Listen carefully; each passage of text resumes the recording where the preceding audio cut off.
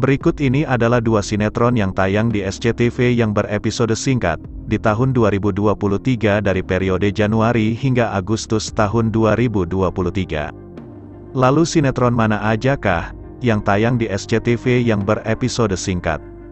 1. Sinetron Melukis Senja, sinetron yang diproduksi oleh Rumah Produksi.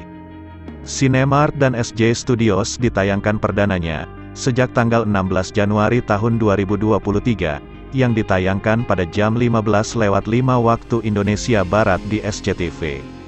Sinetron ini disutradarai oleh Irwan Ibon dan dibintangi juga oleh Kalista Arum, Antonio Blanco, Kenny Agustin, Ratu Rafa dan juga beberapa artis pemain lainnya.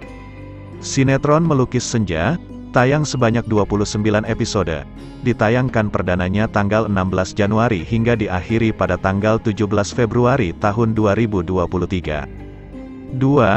Sinetron Rindu Bukan Rindu, adalah sinetron kedua SCTV yang berepisode singkat di 2023.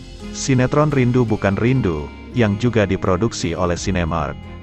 Sinetron Rindu Bukan Rindu, yang ditayangkan perdananya pada tanggal 30 Januari tahun 2023, yang ditayangkan pada jam 15.30 di SCTV.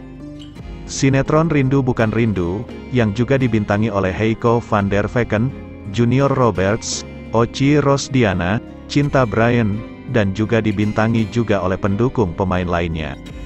Sinetron Rindu Bukan Rindu, tayang sebanyak 54 episode, yang ditayangkan dari tanggal 30 Januari dan ditamatkan pada tanggal 19 Maret tahun 2023, Nah itulah dua sinetron SCTV, yang episode singkat di tahun 2023, dari periode Januari hingga Agustus tahun 2023, SCTV hanya menamatkan dua sinetron episode singkat, dibandingkan rivalnya yaitu RCTI yang sudah menamatkan setidaknya hampir tujuh sinetron dengan episode singkat.